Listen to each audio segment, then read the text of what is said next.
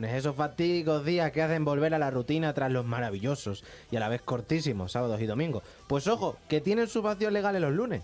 Sí, nadie se lo esperaba ni nosotras, pero dos científicas de la University, University of Medicine and Health Sciences, Science, nos han dado los métodos que no sabíamos que necesitábamos.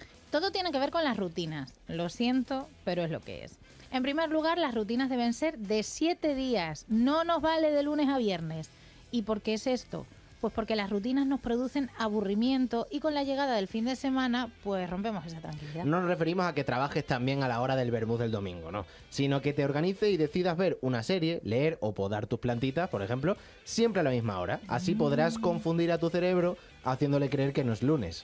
Y lo segundo, que es que no modifiques tus rutinas de sueño, siempre a la misma hora, de lunes a domingo. Así tu organismo no, no le interrumpirá la alarma de las 8 de la mañana o de las 6 y media en el caso de Bebé Galán, eh, porque bueno, el domingo ya te has levantado a la misma hora. Porque es que las claves del odio a los lunes están claras. Nuestro cerebro, nuestras hormonas y el cortisol. Los lunes al cortisol.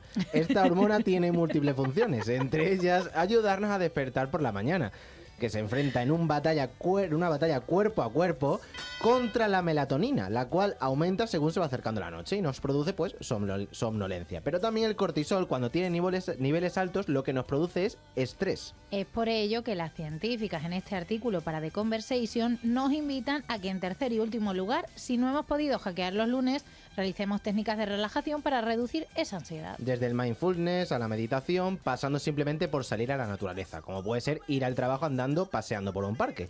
Lo que a ti relaje, vamos, o sea, si a Bebe lo que le relaja es leer un ratito, pues esa es tu técnica de meditación. Que tú te conoces y si no, pues párate a preguntártelo, ¿no? Que hay muchas veces que simplemente con preguntarte qué te viene bien, pues igual aciertas. Pues sí, y sea como sea, ánimo con los lunes y piensa que pasado mañana ya solo quedan dos días para que vuelva a ser fin de semana.